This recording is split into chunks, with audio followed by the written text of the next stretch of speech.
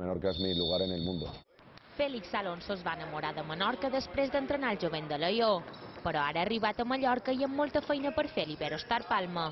El tècnic lleonès havia seguit l'equip i sabia quines eren les seves carències dins la pista, però el va sorprendre el que va trobar al vestidor.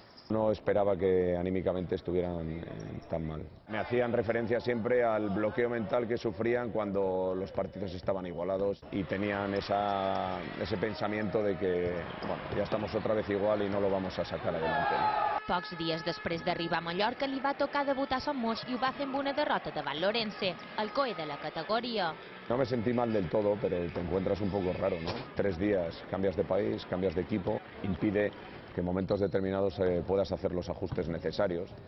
Y bueno, yo se lo dije a ellos, bueno, seguramente vosotros no hayáis jugado el mejor partido de vuestra vida y, y desde luego yo no he hecho la mejor dirección de partido de, de mi vida. Una direcció que fa molta calma. Es raro que, que me enfade o es raro que grite. Desde que dirijo a nivel profesional es mi, mi forma de ser. Creo que el respeto de los jugadores te lo tienes que ganar con tu conocimiento y con la forma según, que les, tra según les tratas. ¿no?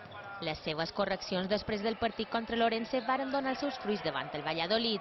Els palmesans varen guanyar i varen rompre una ratxa de quatre derrotes consecutives.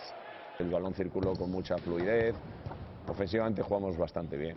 Defensivamente eh, un poquito mejor en el rebote en el rebote y sobre todo me gustó la respuesta del equipo a nivel mental cuando la cosa se complicó. ¿no?